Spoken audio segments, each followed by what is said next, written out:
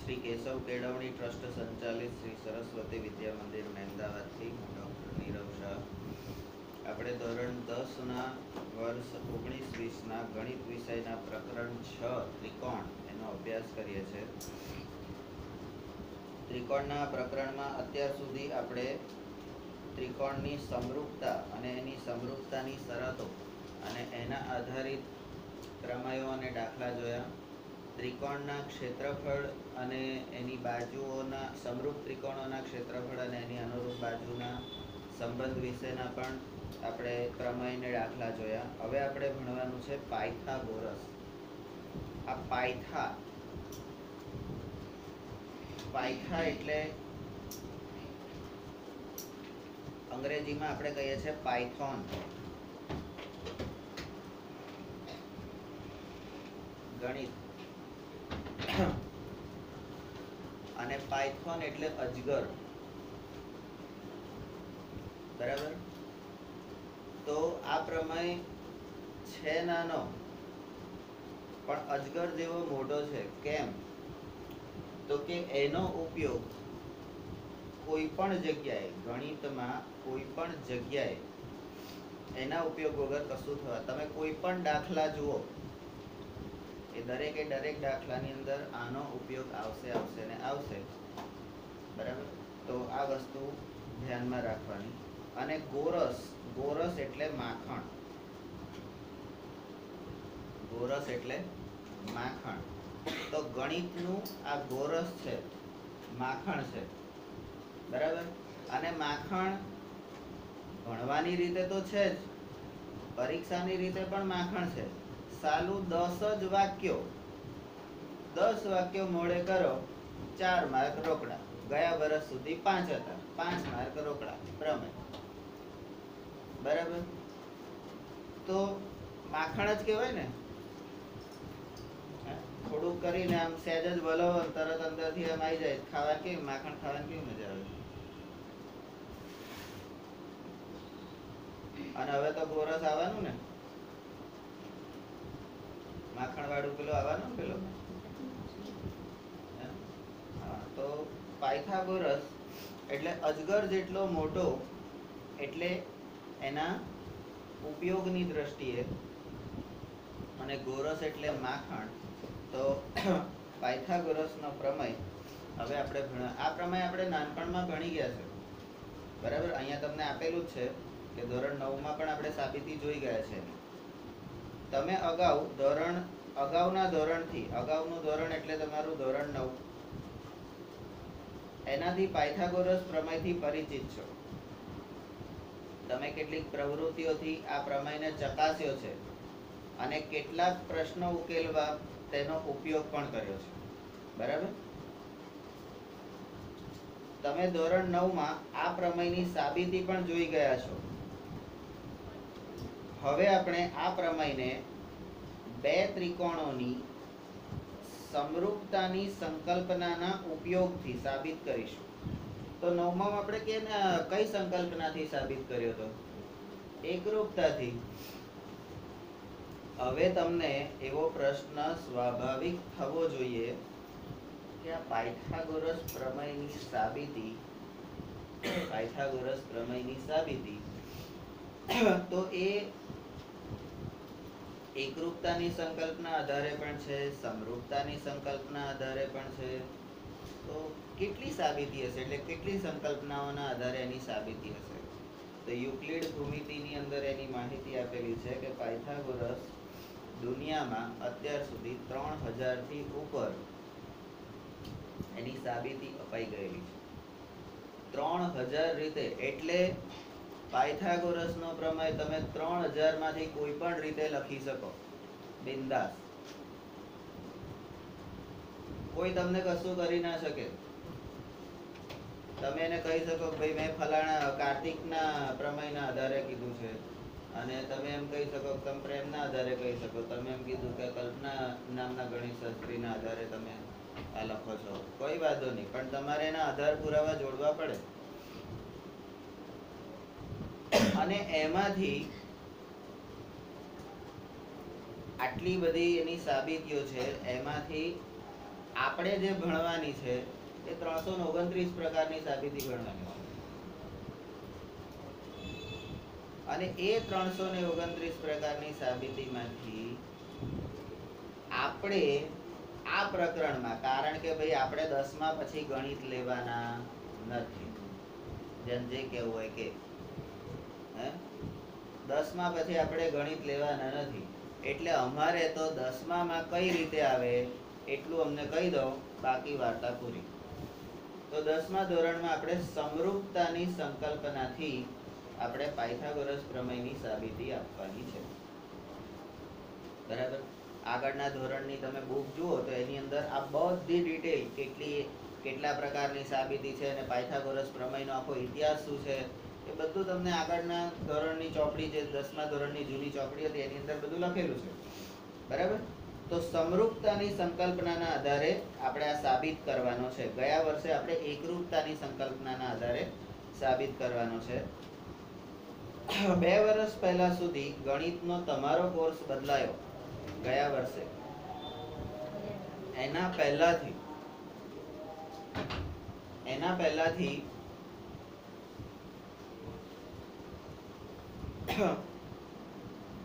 આખું ગણિત એટલે જે દર્શભાઈ લોકો અને સૌમ્યભાઈ લોકો જે, હરિદીદી લોકો જે ગણિત ભણ્યા, એ ગણિત, આખું ગણિત એ ગણની સંકલ્પના પર આધારિત હતું. ગણની સંકલ્પના. પછી હવે આવ્યું તો એકરૂપતા, સમરૂપતા એની સંકલ્પનાના આધારે. એટલે આપણે કયું ચેપ્ટર કઈ સંકલ્પનાના આધારે ભણવાનું છે એ આપણને ખબર પડવી જોઈએ. એટલે આ વસ્તુની સમજથી આપણને કોઈ પણ આપણી બુકમાં ના આપેલા હોય એવા દાખલા પણ જ્યારે આપણને પૂછાય, તો આપણો બેઝ ક્લિયર હોવો જોઈએ કે ભાઈ મારે ધોરણ દસની અંદર ભૂમિતિના જે પણ દાખલા હશે, એ બધા દાખલા કયા હશે? તો સમરૂપતાની સંકલ્પનાના આધારે. તો સમરૂપતાની સંકલ્પના શું છે? તો સમરૂપતાની બે શરતો યાદ રાખવાની. બાજુઓ સમાન, બાજુઓનો ગુણોત્તર સમાન અને ખૂણા એટલે સમપ્રમાણમાં અને ખૂણા સમાન. આ બે સંકલ્પના છે. એટલે બેના આધાર ઉપર, એટલે કોઈ પણ વસ્તુને આપણે આ બે બે મુદ્દા ઉપર આપણે એને મૂલવવાનું. કે ભાઈ આ બે વસ્તુ જોઈ લેવાની, ચકાસી લેવાની. કે ભાઈ આવું છે તો ઓકે, નથી તો કંઈ નહીં. બરાબર?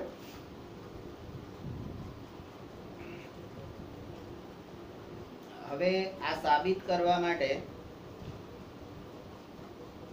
આ સમરૂપતાની સંકલ્પનાના આધારે સાબિત કરવા માટે આપણે કાટકોણ ત્રિકોણના કાટકોણ ત્રિકોણના કર્ણ પર તેની સામેના કાટકોણ ત્રિકોણના કર્ણ પર કર્ણની સામેના શિરોબિંદુ, કર્ણની સામેના શિરોબિંદુથી રચાતા વેદથી બનતા બે ત્રિકોણોની સમરૂપતા પર આધારિત પરિણામનો ઉપયોગ કરીશું.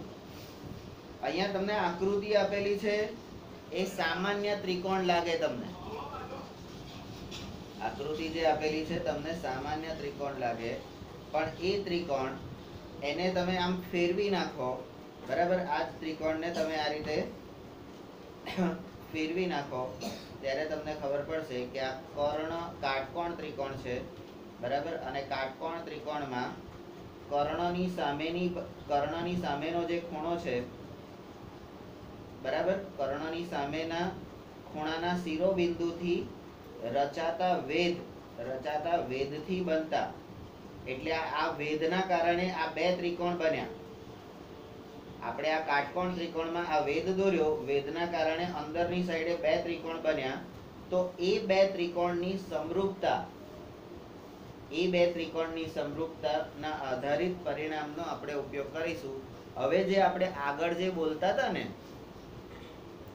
સમરૂપ ત્રિકોણમાં વેદથી બનતા બે ત્રિકોણોના ક્ષેત્રફળ એ એકબીજાને અને એના મૂળ ત્રિકોણને સમરૂપ હોય. પેલું વિધાન આપણે જે ગુણધર્મ કહેતા હતા ને, સારાંશમાં, તમે જુઓ સારાંશમાં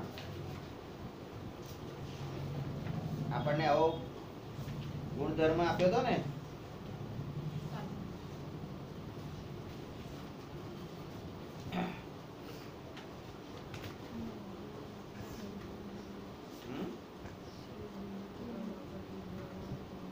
હા, અગિયાર નંબર.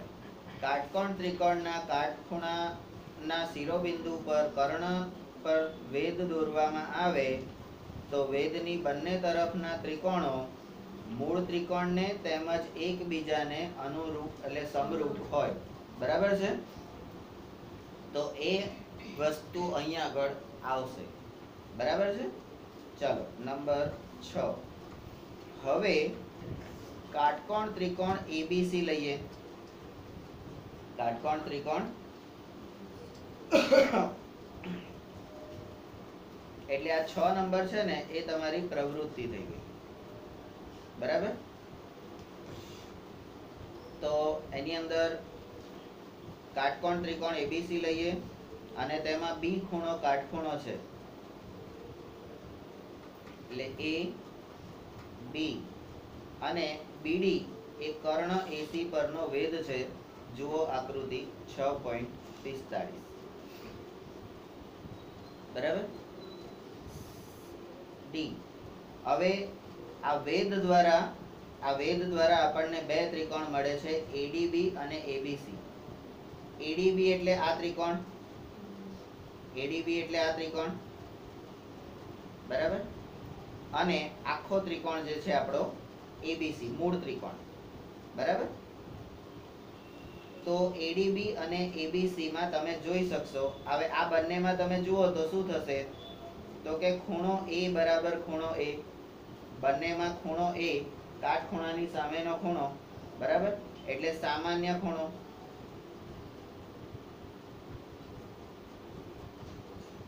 બરાબર? ખૂણો ડી અને ખૂણો બી ખૂણો ડી અને ખૂણો બી બંને કાટખૂણા છે. આ કાટ એબીસી માં બી અને એડી એબીડી માં એડીબી માં આ ડી ખૂણો કાટખૂણો છે. તો એ બંને શું છે? કાટખૂણા છે.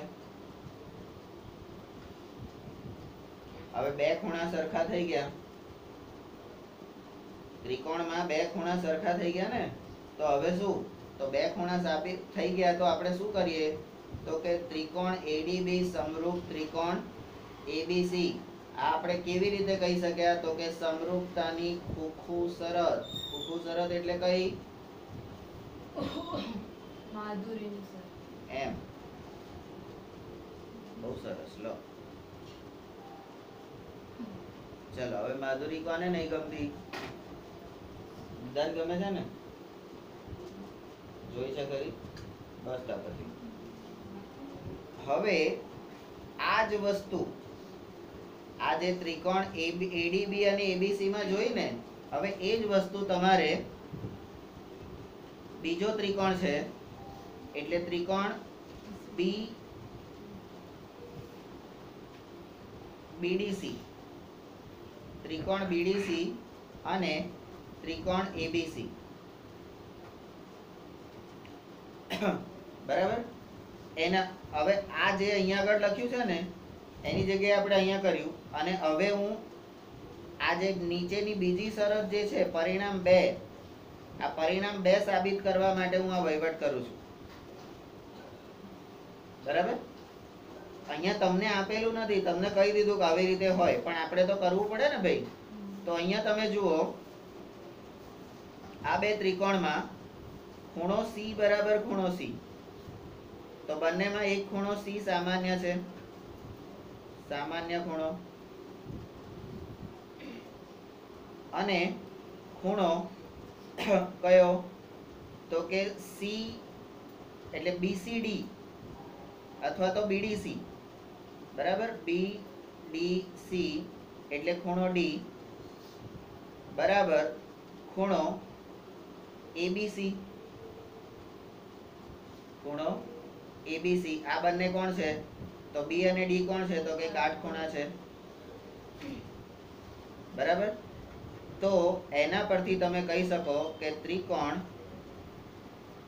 બીડીસી સમરૂપ ત્રિકોણ એબીસી આવું તમે કઈ રીતે કહી શકો? તો કે સમરૂપતાની ખુખુ શરત પ્રમાણે. બરાબર? તો સમરૂપતાની ખુખુ શરત પ્રમાણે તમે આ બે ત્રિકોણ. હવે તમે જોઈ શકો, પરિણામ એક અને બેમાં આ પહેલો ત્રિકોણ એ મૂળ ત્રિકોણને સમરૂપ બીજો ત્રિકોણ, એ પણ મૂળ ત્રિકોણને સમરૂપ. તો પેલા બે શું હોય? સમરૂપ જ હોય ને? બરાબર? પણ આપણે તો એવું કંઈક કરીએ ભાઈ. હે? આ ડી અને આ ઈ હવે સ્ટેપ નંબર સાત.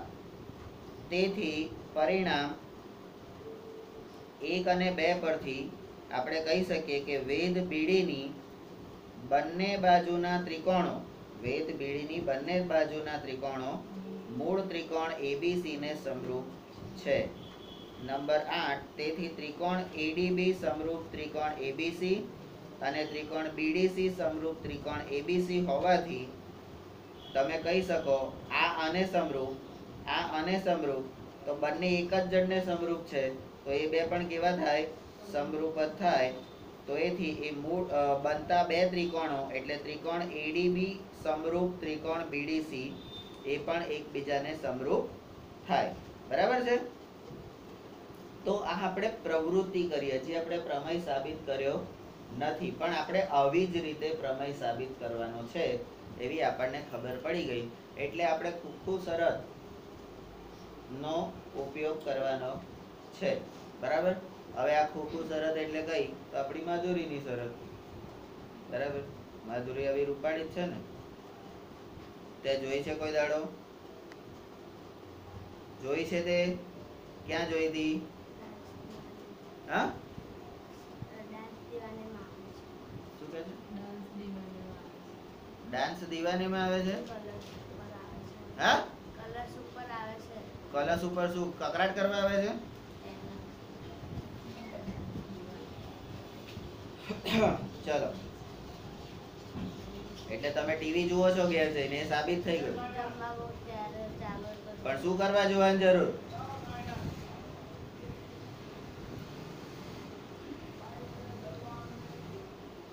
આ બધું પૂછવાનું કારણ આટલું જ હોય છે, ખબર પડે. કોણ શું કરે છે? તમને એમ કે બધા ગુરુજી તો ગાંડા હોય, એમને કઈ ખબર પડે ઘેર જઈને આપણે શું કરીએ? પણ ઘેર જઈને શું કરે બધી ખબર હોય. મત પડે, મમ્મીના કપડા ધોવાના તે બધું કરવું પડે. હે ને? ચલો, પ્રમેય છ પોઈન્ટ સાત. પ્રમેય છ પોઈન્ટ સાત. જો કાટકોણ ત્રિકોણમાં, હવે આ વિધાન જુઓ. જો કાટકોણ ત્રિકોણમાં કાટખૂણો બનાવતા કાટખૂણો બનાવતા શિરોબિંદુમાંથી કર્ણ પર વેદ દોરેલ હોય, તો વેદની બંને તરફના ત્રિકોણો, વેદની બંને તરફના ત્રિકોણો એ મૂળ ત્રિકોણને સમરૂપ હોય છે અને એકબીજાને પણ સમરૂપ હોય છે. આ વિધાન એ પ્રમેય છ પોઈન્ટ સાત છે. છ પોઈન્ટ બરાબર? હવે અહીંયા જે આપણે બે ત્રિકોણ બે ત્રિકોણો જે સમરૂપ કર્યા ને, એ વિભાગ છ પોઈન્ટ બે ની નોંધ ઉપરથી. હવે આપણા વિભાગ છ પોઈન્ટ બે ક્યાં છે? છ પોઈન્ટ બે. છ પોઈન્ટ બે વિભાગ કાઢો અને એની નોંધ જુઓ બોલો બોલો તમે જોઈ શકો છો કે એક બહુકોણ બીજા બહુકોણને સમરૂપ હોય અને બીજો બહુકોણ ત્રીજા બહુકોણને સમરૂપ હોય તો પહેલો બહુકોણ બીજા બહુકોણને સમરૂપ છે બોલો.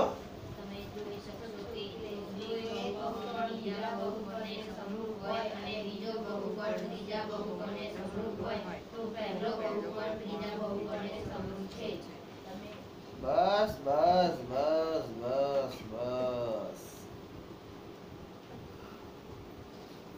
અલ્યા, બહુકોણમાં બધું સમરૂપતાની શરતો લાગુ પડતી હોય તો આ તો ત્રિકોણ છે. હે?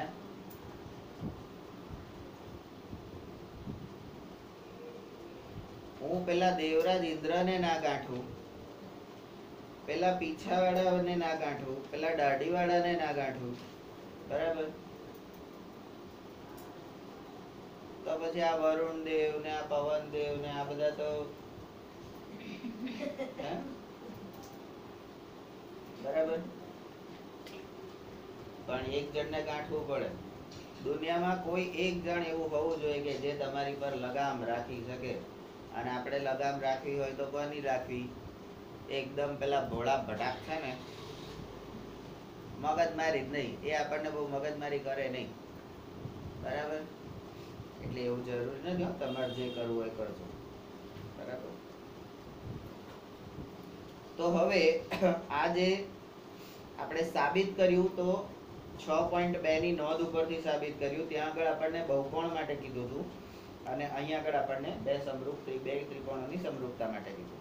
એના પરથી આપણે આ પ્રમાણે સાપનું વિધાન સાપ, એટલે હવે તમે એવું કહી શકો, માણસો, કે આ છ પોઈન્ટ સાતની જે સાબિતી છે એ ઉપર છે. છ પોઈન્ટ સાતની સાબિતી ઉપર છે. આવું તમે કહી શકો? હે? બરાબર? ચલો, તો હવે આપણે પાયથાગોરસ પ્રમેય સાબિત કરવા માટે આ પ્રમેયનો ઉપયોગ કરીશું. બરોબર? પાયથાગોરસનો પ્રમેય સાબિત કરવા માટે પણ આ પ્રમેયનો ઉપયોગ કરીશું. તો આ ભાઈ છે ને, જે દાઢીવાળા ભાઈ બતાવે છે ને પાયથાગોરસ છે. એમનું નામ પાયથાગોરસ છે, હો. એમના નામ પરથી પ્રમેયનું નામ પડ્યું. તો અહીંયા બીસી અહીંયા આપેલું છે બીસી બીસી એટલે બિફોર ક્રાઇસ્ટ બિફોર ક્રાઇસ્ટ એટલે શું? તો ક્રાઇસ્ટ એટલે ક્રિશ્ચનોના ભગવાન. એટલે ભગવાન તો ના કહેવાય પેગમ્બર પેલા ઈસુ ખ્રિસ્ત, એ ઈસુ ખ્રિસ્ત જે જન્મ્યા, જે વર્ષે જન્મ્યા, એને ઈસવીસન, એટલે ઈસુ ખ્રિસ્ત જે જન્મ્યા, એને પહેલું વર્ષ કીધું. અને ત્યાંથી એ લોકોએ એમની ગણતરી ચાલુ કરી કે ભાઈ આ ભગવાન જન્મ્યા, ત્યારથી આપણી ગણતરી ચાલુ થઈ. બરાબર? તો ઈસુ ખ્રિસ્ત જન્મ્યા, ત્યારથી અત્યાર સુધી એમની ગણતરી કેટલી થઈ? તો બે હજાર ઓગણીસ. તો આ બે હજાર ઓગણીસ અને એના પહેલા, એટલે બે હજાર ઓગણીસ પહેલા, એટલે હવે ઊંધા જવાનું. જીરો થી એક, બે, ત્રણ, ચાર, પાંચ, છ. તો અહીંયા તમે જોઈ શકો છો કે આ ભાઈનો જન્મ પાંચસો ને માં થયો હતો. આ ભાઈનો જન્મ પાંચસો ને માં ગયો અને મરી ગયા ચારસો ને માં. ચારસો ને માં મરી ગયા. બરાબર? હારું. હું જન્મ્યો બે હજાર ઓગણીસો ને તોતેરમાં. હું ઓગણીસો ને તોતેરમાં જન્મ્યો. અને અઢારસો ને એક મરી ગયો. એવું કઈ હોય? પણ હોય કારણ કે ઈસુ ખ્રિસ્તના જન્મ પહેલા બિફોર ક્રાઇસ્ટ એટલે ઈસુ ખ્રિસ્તના જન્મને આ- લોકો જીરો કે એક ગણતા હોય, તો એની ડાબી તરફની સંખ્યા એટલે એ ત્યાંથી એક, બે, ત્રણ, ચાર, એટલે ઊંધી સંખ્યા આ બાજુ ગણાય. આ બાજુ એક, બે, ત્રણ, ચાર ગણાય. આપણે માઇનસ નહીં કહેતા? માઇનસ વન યામ ભૂમિતિ? યામ ભૂમિતિમાં માઇનસ ચાર આ બાજુ હોય છે અને માઇનસ એક અહીંયા હોય છે. એટલે તમે જીરો તરફ આવો છો એટલે તમારી ઉંમર ત્યાં વધતી જાય છે. તમારું મૂલ્ય વધતું જાય છે. પણ એકચ્યુઅલી મૂલ્ય ઘટતું જાય છે. પાંચસો માંથી તમે એક તરફ આવો છો ને? પાંચસો માંથી એક તરફ આવો છો. એટલે પાંચસો માં જન્મ્યા હતા ચારસો માં મરી ગયા. તો આ એટલા માટે આ રીતે છે કે પાંચસો ને અગ્નોસિત્તેરમાં ભાઈ જન્મ લીધો એટલે મો નેવું વર્ષ જીવ્યો તમે જુઓ. નેવું? બરાબર ને? નેવું નેવું. માઇનસ કરો. ફાઈવ સિક્સ નાઇનમાંથી સેવન ફોર એટલે ફોર સેવન નાઇન બાદ કરો. બરાબર? બોલો. નેવું છે, જુઓ તો બરાબર. હે, બાદ બાકી કરો તો તમે. Five six nine minus four seven nine nine nine એટલે ઝીરો અહીંયા ચાર. અહીંયા દસ. સોળમાંથી સાત જાય એટલે નવ ને સાત સોળ ને? હા. તો નેવું વર્ષ થયા ને? બોલો. હવે આ ભાઈ પાયથાગોરસ નેવું વર્ષ જીવ્યા. એમાં એમણે આવો નાનો એક પ્રયોગ પ્રમેય સાબિત કર્યો અને એ પ્રમેય વર્લ્ડ ફેમસ થઈ ગયો. દુનિયાના ગણિત શાસ્ત્રીઓ એની ત્રણ હજાર જેટલી સાબિતી આપી. એના પહેલા, આ પાયથાગોરસ પહેલા અને પાયથાગોરસ પછી પણ એની સાબિતી એ લોકોએ આપી. બરાબર? અને હજીએ આજના ગણિત શાસ્ત્રીઓ એ જ પ્રમાણે સાબિતી આપવાનો પ્રયત્ન કરે છે. અને જે કડિયા લોકો હોય ને, કડિયા, મિસ્ત્રી, એટલે જે કારીગર જાત છે કારીગર જાત કોઈ પણ મકાન, કોઈ પણ ફર્નિચરની વસ્તુ કે કંઈ પણ વસ્તુ કરતા પહેલા એક કાટખૂણો કરતા હોય છે. ખબર પહેલા કાટખૂણો બનાવે. અને કાટખૂણો કેમ બનાવે? તો કયા પ્રમેય અનુસાર? તો કે પાયથાગોરસ પ્રમેય અનુસાર. સાલા તમારા મકાન, તમારું ફર્નિચર અને તમારા ઘરની દરેકે દરેક વસ્તુ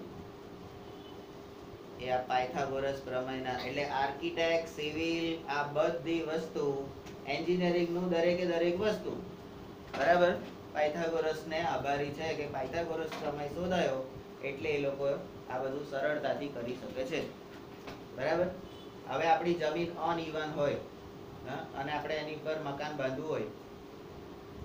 આપણે ત્યાં આગળ આપણી સ્કૂલની જ વાત કરીએ. આપણી સ્કૂલની જમીન આમ ત્રાસી હતી. તો એમાં વચ્ચે ચોરસ મકાન આપણે તૈયાર કરવાનું હતું. તમે જોઈ શકો છો સ્પષ્ટ રીતે કે તમે બિલ્ડિંગની એક બાજુની સાઈડે જાઓ તો ત્યાં જગ્યા વધારે છે બિલ્ડિંગની બીજી સાઈડે જાઓ તો જગ્યા ઓછી છે. તમે આ બાજુની સાઈડે જાઓ તો આ ધારથી પેલી ધાર જતા સુધીમાં તમારું બિલ્ડિંગ આમ ત્રાંસું થાય છે.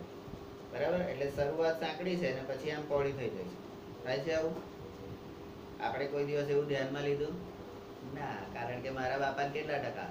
આપણે જઈને હિંચકા ખાવાના, હોજ પર રમવાનું, હા? મસ્તી કરવાની, બરાબર? પણ જે કરવાનું છે એ કરવાનું નહીં, બરાબર? તો આપણા ઘરમાં પણ તમે તમારા ઘરમાં કોઈ પણ દિવાલ જે છે, દિવાલનો ખૂણો તમે તૈયાર કરો અને એ ખૂણેથી, કોઈ પણ એક ખૂણેથી તમારું આખું ઘર તમે માપો, બરાબર? એ કાટખૂણો જો વ્યવસ્થિત હશે તો તમારા ઘરમાં કોઈ પ્રોબ્લેમ હશે નહીં. બરાબર? તમને ખબર પડી જશે કે આ કડિયાએ સલાએ બરાબર ચણ્યું છે કે નહીં, કે દિવાલ લાંબી ટૂંકી, જાડી પાતળી, હે, અહીંયા વીસની છે તઈ એકવીની થઈ ગઈ પછી ઓગણીની થઈ ગઈ ને એવું બધું થાય તો ખબર પડી જાય. પૈસા એણે વીસ ના લીધા હોય કમ્પ્લીટ બધાના. બરાબર? ચલો. પાયથાગોરસનો પ્રમેય સાબિત કરીએ. ભાઈ, નેવું વર્ષ જીવ્યા તા હવે તમે વિચાર કરો કે આ આવડો નાનો માણસ, અરે, આવડો મોટો માણસ એ જો નેવું વર્ષ જીવી શકે એ જમાનામાં. ઈસુ ખ્રિસ્તના જન્મ પહેલા, બરાબર, જ્યારે કોઈ ટેકનોલોજી શોધાઈ નથી ત્યારે, એ જમાનામાં એ નેવું વર્ષ જીવી શકે. તો આ જમાનામાં આટલી બધી ટેકનોલોજીને તમે આટલા બધા હોય, તો હું દોઢસો વર્ષ ના જીવી શકું. આનું જીવું તો કોને વાંધો છે, બોલો? હું દોઢસો વર્ષ જીવું તો કોને વાંધો છે? જો પેલો હાથ ઊંચો કરે કઈ નહીં તને નહીં બોલાવું બરાબર? ચલો પ્રમેય છ પોઈન્ટ આઠ. હવે ગયા વર્ષ સુધી જે પ્રમેય સાત પોઈન્ટ એક હતો પાયથાગોરસનો? સાત પોઈન્ટ એક હતો સાત પોઈન્ટ બે હતો? સાત પોઈન્ટ બે. જુઓ બરાબર. હા બરાબર જોઈ લો. બરાબર? એ પ્રમાણે હવેના વર્ષોમાં થઈ જશે છ પોઈન્ટ આઠ. હવે છ પોઈન્ટ આઠ થઈ જશે. તો પાયથાગોરસ પ્રમેયનું વિધાન છે કાટકોણ ત્રિકોણમાં કર્ણનો વર્ગ, બાકીની બે બાજુઓના વર્ગોના સરવાળા જેટલો હોય છે. બરાબર? તો અહીંયા આગળ આપણને ડાયરેક્ટ સાબિતી આપી દીધી છે, પણ આપણે તો એવા કંઈ સારા માણસ છે નહીં. આપણે એમાંથી પક્ષ અલગ કાઢીશું. સ્ટેપ નંબર એક ત્રિકોણ એબીસીમાં બી કાટખૂણો છે. એમ આપ્યું છે. આપ્યું છે એટલે આકૃતિ આપેલ છે. અહીંયા બી કાટખૂણો ના હોય અને જો એ કાટખૂણો હોય તો આખો પ્રમેય બદલાઈ જાય. બરાબર? અહીંયા P કાટખૂણો હોય તો પણ બદલાઈ જાય. C કાટખૂણો હોય તો પણ આ બધું બદલાઈ જાય. હા? તો એ એ રીતે આપણે આ પ્રમેયને આ એક જ પ્રમેયને આપણે પાંચ રીતે કરવાનો છે. બરાબર? તમને પેપર આપી છે, પેપરની અંદર આપેલું છે કે ભાઈ ખૂણો એ કાટખૂણો હોય તો એક વાર ખૂણો બી કાટખૂણો હોય તો, ખૂણો સી કાટખૂણો હોય તો એમાં શું ફેરફાર કરવાના? પછી આપણે આનું આ દહીં મારીએ તો ના ચાલે. મેં તો લખ્યું હતું અંદર છે, આપું એવું. પણ ડોબા એમાં બી કાટખૂણો છે. અને તને પરીક્ષામાં એ કાટખૂણો પૂછ્યો છે, તો એ પ્રમાણે તારે ફેરફાર કરવાનો. સાત પોઈન્ટ બે. બરાબર? ચલો. હવે નંબર બે. સદ્ય. સદ્ય એટલે આપણે જે સાબિત કરવાનું છે એ, તો આ એસી સ્ક્વેર. એસી સ્ક્વેર એટલે કર્ણનો વર્ગ. બરાબર? એબાનો વર્ગ વત્તા બીબાનો બરાબર. હવે જે વસ્તુ આપણે ભણતા પહેલા આટલી બધી વખત એનો ઉપયોગ કરી ગયા હોય, અને એ પ્રમાણે આપણને મોડે કરવાનું કે એક મિનિટમાં મોડે ના થઈ જાય. એક મિનિટમાં મોડે ના થઈ જાય. ગુરુજી, અમને તો વિધાન વાંચતા ત્રણ મિનિટ લાગે. એક મિનિટમાં કઈથી મળે થવાનું, નહીં? ચલો, નંબર ત્રણ. આકૃતિ દોરો. બરાબર? અને ચાર નંબર જે છે એ આપણી સાબિતી છે. હવે સાબિતીમાં સ્ટેપ નંબર એક બીડી લંબ એસી દોરો. અહીંયા બીડી લંબ છે, અહીંયા નિશાની તમને લંબની આપેલી છે. આ નિશાની લંબની છે, પણ એને જ આપણે વેદ પણ કહીશું. કારણ કે આપણે વેદ દોરવાનું છે. બરાબર છે? શું દોરવાનું છે? આર્યો. કર્ણ પર વેદ દોરવાનું છે. અને આ વેદ અને લંબ બે કેમ સરખા છે? કારણ કે વેદની કોઈ નિશાની આપણને આપેલી નથી. વેદની કોઈ નિશાની આપેલી નથી. બરાબર? લંબની આપેલી છે. અને લંબ કોણ છે ભાઈ?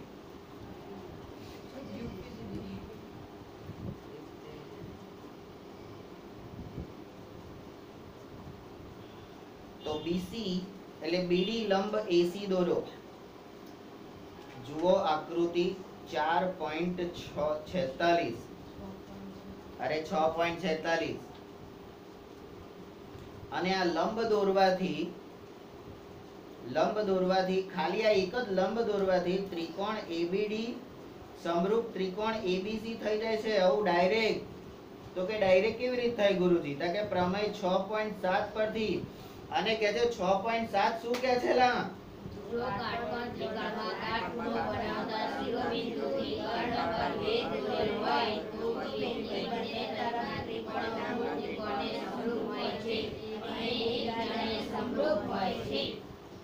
એટલે અહીંયા એબીડી સમરૂપ એબીસી તો કાટકોણ ત્રિકોણમાં વેદ દ્વારા બનતો ત્રિકોણ એ મૂળ ત્રિકોણને સમરૂપ છે. અહીંયા આપણે એબીસી ને સમરૂપ છે એટલે મૂળ ત્રિકોણને સમરૂપ છે, એવું કીધું. તો કે હે? તો કે હા. તો કે હવે સમરૂપ ત્રિકોણો હોય, ત્રિકોણો જો સમરૂપ હોય, તો સમરૂપતાની શરતો સમરૂપતાની શરતો, તો શરતો કઈ છે ભાઈ? તો કે બાજુઓ સમપ્રમાણમાં હોય, તો કે એમ? તો કે એડી બાજુ છે એડી આ એડી બાજુ, બરાબર? એ એબી ને સમરૂપ છે. અને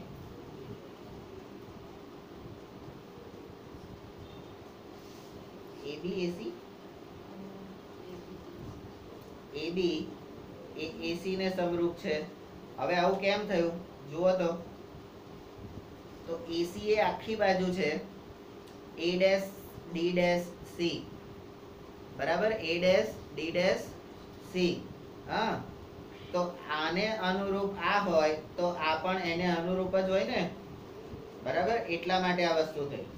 બાજુઓ સમપ્રમાણ. તો એનાથી હવે શું થયું? તો કે ક્રોસ ગુણાકાર કરો.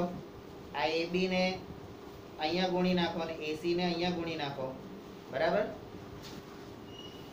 તો એ ક્રોસ ગુણાકાર કરતા આપણને જવાબ મળે છે એબી નો વર્ગ બરાબર એડી ઇન્ટુ ડીસી પણ અહીંયા ક્રોસ ગુણાકાર કરતા આપણને શું મળશે? એડી ઇન્ટુ એસી બરાબર એબી ઇન્ટુ એબી આ રીતે મળશે.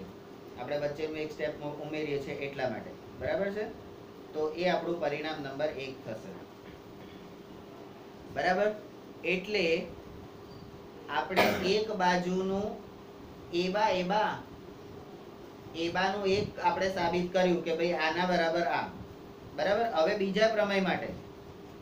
એટલે બીજી બાજુ માટે. તો સ્ટેપ નંબર પાંચ. સ્ટેપ નંબર પાંચ. હવે એમ કે છે કે ત્રિકોણ બીડીસી ત્રિકોણ બીડીસી એ ત્રિકોણ એબીસી ને સમરૂપ થાય. ત્રિકોણ બીડીસી ત્રિકોણ એબીસી ને સમરૂપ થાય. તો આવું પણ આપણે કેવી રીતે કહી શકીએ છીએ? પ્રમેય છ પોઈન્ટ સાત ઉપરથી કહી શકીએ છીએ તો બરાબર. પણ કેવી રીતે કહી શકીએ છીએ? તો કે છે, જો બીડી લંબ એસી હોય તો, હવે બીજો ત્રિકોણ. આ બીડી લંબ એસી હોય તો બીજો ત્રિકોણ.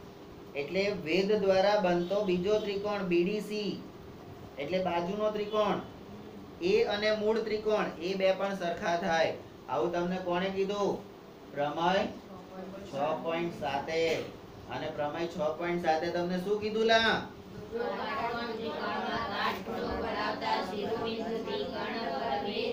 હોય તો ત્રિકોણો મૂળ ત્રિકોણને સમરૂપ હોય છે અને એકબીજાને સમરૂપ હોય છે તો હવે સમરૂપતાની શરતો. તો કે બાજુઓ સમપ્રમાણમાં. બાજુઓ સમપ્રમાણમાં.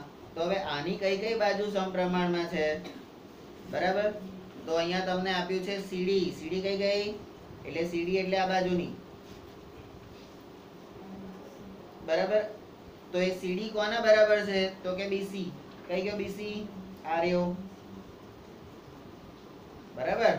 અને બીસી અને એસી. તો આખી બાજુ. બરાબર? તો આને શું કરવાનું? તો કે કશું નહીં કરવાનું, આગળ કર્યું તો એવું જ કરવાનું. તો કે ક્રોસ ગુણાકાર કરવાનો. શું કરવાનું? હા, અને ક્રોસ ગુણાકાર કરીએ તો શું મળે આપણને? તો કે સીડી ની અંદર એસી ઉમેરાઈ ગયું. બરાબર? અને બીસી ની અંદર બીસી ઉમેરાઈ ગયું. બોલો, હે, કેટલા પૈસાદાર લોકો? સીડીમાં એસી નાખે. સીડીમાં એસી નાખે, બોલો. હવે સીડીમાં એસી નંખાતું હશે? પણ આ તો ભાઈ પૈસાદાર. કારણ કે આ જેનો પ્રમય દુનિયામાં ફેમસ થઈ ગયો હોય, એ માણસ કેવો પૈસાદાર હોય? પણ તમને જાણીને આશ્ચર્ય થશે કે એ ભાઈને સવારે ખાય તો સાંજે શું ખાશે? એના ફાંફા હતા. આવું મને નહીં ખબર હો. કોકે કીધું તું ને હું કહું છું. બાકી આપણું વિધર નહીં. બરાબર આપણે જોવા નતા ગયા. કારણ કે એ વખતે છે ને હું થોડા વખત માટે ઉપર ગયો હતો. એમાં હસવાનું શું આવ્યું? બધા જાય છે જ ને તો હું ગયો. એમાં શું છે? હા થોડાક વખત માટે. એક હજાર વર્ષ માટે જ હું ગયો હતો. કારણ કે થાકી ગયો હતો. મેં કહ્યું હવે જરીક આરામ કરીએ. અલા પેલું અલાદીનમાં, મેરે ડેઢ હજાર સાલ કા તજુર્બા કહેતા હે, એવું નહીં આવતું? હવે કોઈ નહીં બોલે. કારણ કે ખબર પડી જાય કે અલાદીન જીવે છે. જોવે છે. ચલો, તો સીડી ઇન્ટુ એસી બરાબર બીસી સ્ક્વેર જેને આપણે પરિણામ નંબર બે કહીશું. બરાબર? હવે સ્ટેપ નંબર છ. પરિણામ એક અને બે નો સરવાળો લેતા. હવે જ્યારે આપણે સરવાળો કરીએ બે પરિણામોનો, તો ડાબા ડાબા જબા જબા, ડાબા ડાબા જબા, અબ્બા ડબ્બા જબા. હે? કારણ કે પેલું પિક્ચર જોયું હોય જુદાઈ. હે? અબ્બા ડબ્બા ડબ્બા.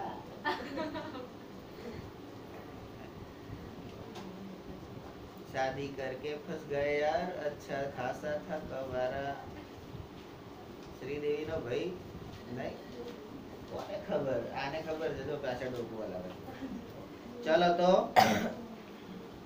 એડી ઇન્ટુ એસી વત્તા એડી ઇન્ટુ એસી એટલે ડાબા ડાબી બાજુનો સરવાળો અને જમણી બાજુ એટલે એબી નો વર્ગ વત્તા BC નો વર્ગ. હવે આ બેમાં આ એસી એ કોમન નીકળશે. સામાન્ય અવયવ લેતા તો બંનેમાં એસી છે. હે? હવે એડી પગની એડીમાં એસી નંખાયું છે, જુઓ. પગની એડીમાં એસી અને સીડીમાં એસી બરાબર? તો એ બંનેમાંથી એસી બહાર કાઢ નાખો. તો તમને શું મળે? તો કે એડી વત્તા સીડી આપણે સીડી ચડવી હોય તો એડીનો જ ઉપયોગ કરવો પડે ને ભાઈ? આપણે સીડી ચડવી હોય તો એડીનો ઉપયોગ કરવો પડે ને? તો એડી વત્તા સીડી અને આ એડી ને સીડી ભેગું થાય તો શું થાય? તાકી એડી ને સીડી બે ભેગું થઈ જાય. એડીમાં એસી અને સીડીમાં એસી બંને ભેગું થઈ ગયું શું થઈ ગયું? તાકે એસી બંને ભેગું થયું તો એસી તો એસી ઇન્ટુ એસી હવે બે વખત એસી આવે તો એસી નો વર્ગ થઈ જાય. તો એસી સ્ક્વેર બરાબર એબી સ્ક્વેર વત્તા બીસી સ્ક્વેર હવે આ એસી કોણ છે? તો કે કર્ણનો વર્ગ એબી કોણ છે? તો કે એબાનો વર્ગ વત્તા બીસી કોણ છે? તો કે બીબાનો વર્ગ. તો આપણે જે સાબિત કરવાનું હતું કે કર્ણનો વર્ગ બરાબર બંને બાજુની લંબાઈના વર્ગોનો સરવાળો. તો એસી સ્ક્વેર બરાબર બેબી સ્ક્વેર વત્તા બીસી સ્ક્વેર. પણ યાદ રાખવાનું, આમાં પાયથાગોરસ ભલે તમને આટલો નાનો છે, હા? એકદમ સહેલો છે. પણ એ શું છે? ગણિતનું માખણ છે. અને માખણ ભાઈ એમને નહીં બનતું. માખણ એમને નહીં બનતું. માખણ મેળવવા માટે તમારે પહેલા તો દૂધને ફાડવું પડે છે. એટલે દૂધને ફાડવું પડે એટલે તમારે આ જ પ્રમાણે. પહેલા તો પાના ફાડી ફાડી ફાડી લખીને મોઢે કરવો પડશે. પણ એ ફાડતા પહેલા આપણે આખા પ્રમેયને ફાડી નાખવાનો, વિભાજન કરી નાખવાનું. મેં અહીંયા કરેલું છે મુદ્દામાં. આખા પ્રમેયને મુદ્દામાં વિભાજન કરેલું છે. મુદ્દો એક, એમાં શું લીધું? મુદ્દો બે, એમાં શું લીધું? ત્રણ, એમાં શું લીધું? એ રીતે એને ફાડી કાઢવાનું. એટલે દૂધને ફાડ્યું આપણે.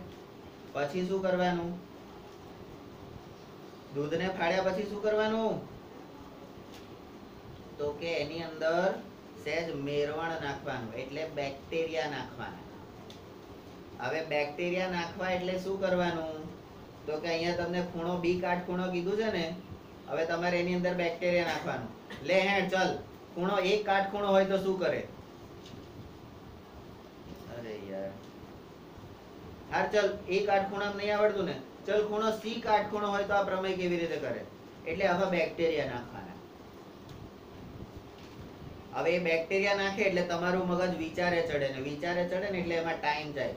એટલે આથવણની જે ક્રિયા છે ને, છ કલાક એ વગત ચાલે, ત્યારે એ બી અને સી ખૂણાની જગ્યાએ, એટલે બી ની જગ્યાએ એ અને સી ખૂણો કાટખૂણો થાય, તો એને કેવી રીતે લખાય, એ તમને આવડે. છ કલાકે આથવણની ક્રિયા થાય. આથો આવે ને? એટલે એ દૂધ જે ફાડ્યું હતું એમાં જે મેરવણ નાખ્યું બેક્ટેરિયાનું, એ બેક્ટેરિયાના મેરવણથી હવે દૂધ દહીં બની ગયું. દહીં બની ગયું. હવે દહીંને શું કરવાનું? તો કે વલાવવું પડે. હે? તો પાછું પેલું બિંગો ટ્રાયેંગલ હે? ખૂણો એ હોય તો આવી રીતે, ખૂણો બી હોય તો આવી રીતે, ખૂણો સી હોય તો આવી રીતે, બરાબર? એને વલોઈ નાખવાનું. તો પાછા અમુક મારા જેવા દોઢા હોય. એટલે છાસ બની ગઈ હવે, વલોણું કર્યું એટલે. પછી કેટલાક મારા જેવા હોય પાછા. હું જે પેપર કાઢીશ ને, એમાં તમારા સાત માર્ક નહીં આવે. એટલે પાછું વલણું બરાબર એકની એક વસ્તુ ફરી ફરી કરવાની થઈ. હે? બરાબર વલણું કરવાનું થયું ને? કે હા તો હારા ગુરુજી, અંદર ચોપડીમાં એબીસી આલેલું છે. અને આ રાક્ષસ તો પીક્યુઆર પૂછે તો શું કરવાનું? તો કે પીક્યુઆર કરીને કરો. તો કે એમાં પી કાટખૂણો કરો. પછી કે ક્યુ કાટખૂણો કરો અને કે આર કાટખૂણો કરો. એ રીતે કરો. કેટલી સાબિતી થઈ? છ. પછી કે છે, આ તો રાક્ષસ રાવણ કુળનો, હે? તમને ડીઈએફથી પૂછે તો તો કે એ રીતે કરો, તમારા બાપાનું શું જાય છે? તા પાછો શકીલ કે એક્સ વાય ઝેડથી બી કરી જ નાખો કે. તો જ્યારે આટલું વલોણું થાય, હવે પછી તમે મરી જાવ ને, પછી બી હું આવીને એમ પૂછું ને, વિશાલ. એટલે વિશાલ કે, બોલો ગુરુ પાયથાગોરસ નો પ્રમેય બોલ. તો કે, ગુરુજી, કઈ રીતે બોલું? કયા ખૂણાને કાટખૂણો ગણું? સારું ચાલ થોડો ક્યુ કાટખૂણો કરીને બોલી ના એટલે વિશાલ રમ રમાઈને આખો પ્રમેય બોલી જાય, વગર વાંચે. અને પછી કે, નમસ્તે ગુરુજી, જાઉં છું. પાછો ભૂઈ તો આને માખણ કહેવાય. આને માખણ કહેવાય. કેમ તમને એક દાખલો પેનથી, ચાર વખત પેન્સિલથી, કેમ કરવાનું કહીએ છે? માખણ બનાવવાનું એ દાખલો એબીસીડી થી પૂછ્યો હોય પીક્યુઆરથી પૂછ્યું હોય ડીઈએફથી પૂછ્યો હોય, તારા બાપાની તાકાત હોય એનાથી પૂછને ભાઈ. અમને આવડે છે. કારણ કે આપણે એમાંથી એક્સ્ટ્રેક્ટ માખણ કાઢી લીધું છે. આપણને હવે ખબર પડી ગઈ છે કે આ કેવી રીતે કરવાનું. તો આપણી સમજ એ આપણું માખણ અને આવું સરસ માખણ હોય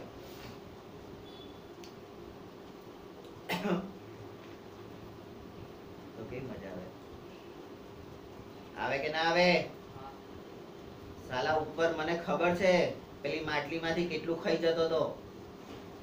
ચોરી, ચોરીને. પોતાની જાતને કનૈયો સમજી બેઠો. બસ હવે. બરાબર? તો આ માખણ આપણે અહીંયા ખાધું. હવે માખણ ખાધા પછી છે ને થોડી કસરત કરવી પડે. કારણ કે નહીં તો પચે નહીં. Amul butter Amul butter Amul butter ખાઈએ તો અમૂલ બટરની અંદર છે ને મીઠું નાખેલું હોય પ્રિઝર્વેટિવ તરીકે. એટલે અમૂલનું બટર તમે આમ એમને એમ ખાઓ તો થોડુંક પાછળથી ખારું લાગે. એકચ્યુઅલ બટર એ ખારું લાગે નહીં, એકદમ મીઠું લાગે. ગોરસ. બરાબર? અમૂલ બટર અમૂલ બટર કહે છે ને, એમાં મીઠું નાખેલું હોય, એટલે એને પ્રોસેસ કરેલી હોય. બરાબર? એ અમૂલ બટર એટલે શું તો તમારું જે એકચ્યુઅલ બટર હોય ને એ બધું બટર કાઢી નાખી અને જે પેલું થૂલું વધ્યું હોય ને એમાં સહેજ મીઠું નાખીને આપી દે તમને Amul butter Amul butter Amul butter હે? પૂરા દુનિયા ખાય પૂરા ભારત ખાય અમૂલ બટર पाव भाजी में बटर रोटली में बटर इसमें बटर इसमें बटर बर्थडे में बटर शर्ट में भी बटर અને કોઈને પટાવવા માટે પણ બટર લગાવવું પડે તો અમૂલ બટર જે છે, આમ તો મારે એવું કહેવું ના જોઈએ ખુલ્લે આમ, પણ અમૂલ બટર એ તમારું ઓરિજિનલ બટર કાઢીને આપણે કોઈ પણ વસ્તુ એકદમ બોગસમાં બોગસ વસ્તુ ખાવાનું, માનો કે આણે શાક બનાવ્યું, ભીંડાનું શાક બનાવ્યું અને એ શાક બળી ગયું. આઈડિયા આપું છું છોકરીઓ માટે ખાસ, કારણ કે તમારા જીવનમાં ઉપયોગી આવશે. એ શાક બળી ગયું હવે તમે તમારા ઘરવાળાને એ બળેલું શાક ખવડાવો, માનો કે. એ બળેલું શાક ખવડાવો, તો શું થાય? પેલો જમવા બેસીને પહેલો કોળિયો જેવો મોઢામાં નાખે ને એવી થાળી ઉછળે. તારી માએ શીખવાડ્યું નથી? પણ એ જ શાકમાં, આ જાણવા જેવી વસ્તુ છે ને કામ આવશે એ જ શાકમાં સહેજ મીઠું અને સહેજ મરચું બરાબર? આટલું આમ સરસ કરીને આમ પીગાડીને આમ મસ્ત વલોઈ દો ને. બાકી પેલાને ખબર ના પડે કે આ બળેલું શાક ખવડાવી દીધું. એવો ટેસ્ટ થઈ જાય ને. આમ આજુ, આજનું શાક બહુ જોરદાર છે. કેવી રીતે બનાવ્યું શેનું શાક? આજે સ્મોક્ડ ભીંડા છે. પાછું સ્ટાઇલમાં બોલવાનું. સ્મોક્ડ ભીંડા છે. ભણેલો હોય તેને ખબર પડે સ્મોક્ડ ભીંડા એટલે શું? તા કે બળેલા ભીંડાનું શાક. પણ માનો કે આ દરબારોમાં અમુક તો ભણેલા જ ના હોય, હે? ગુજરાતી માણ માણ આવડતું હોય, ને આપણે બોલીએ સ્મોક્ડ ભીંડાનું શાક. અને પાછું અંદર દહીં બહી નાખી દેવાનું. જલસા. પેલો આમ ચાટી ચાટીને ખાય. બરાબર? આવું કરવું નહીં. બરાબર? પણ થાય તો કરવામાં પણ વાંધો નથી. એટલે અમૂલ બટર એ એકચ્યુઅલી થૂલું છે. એની અંદર મીઠું નાખે એટલે તમે બ્રેડ બટર ચોપડી ખાવ છો બધામાં. બરાબર? એટલે હવે જો કોક દાડો આમ તો ચાન્સ તમારો પૂરો થઈ ગયો છે. હવે કઈ ત્રણ મહિનામાં તમે અમૂલ ડેરી બતાવવા લઈ ના જવાય. તો આવું છે. સ્મોક્ડ ભીંડાનું શાક